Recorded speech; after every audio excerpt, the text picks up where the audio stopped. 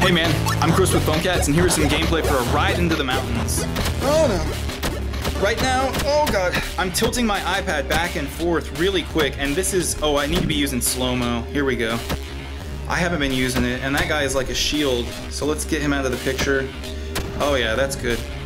He's gonna spawn another wave, and I just need to keep my eye on that slow-mo meter. And yeah, they're getting me with those rushes of projectiles.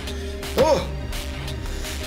Oh yeah, we got one, got two, and I'm, oh, I already have a slow-mo. Let's use it and deal with that.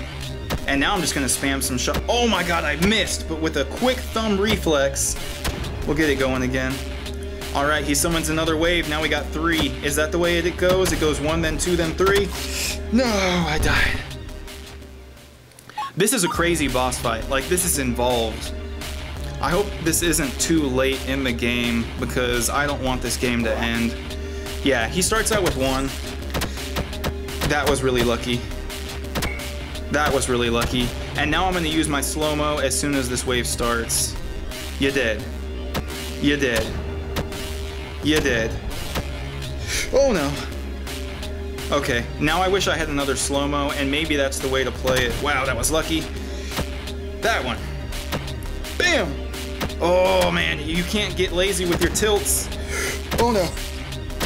I'm gonna win. No, I did. No, I did. All right, this is my last try, but I've been on this level for a couple days and my casual gameplays are not sufficient. This time I'm gonna try to save yeah, that's good. I'm gonna try to save my slow-mo for wave two. Oh, just by getting crazy shots.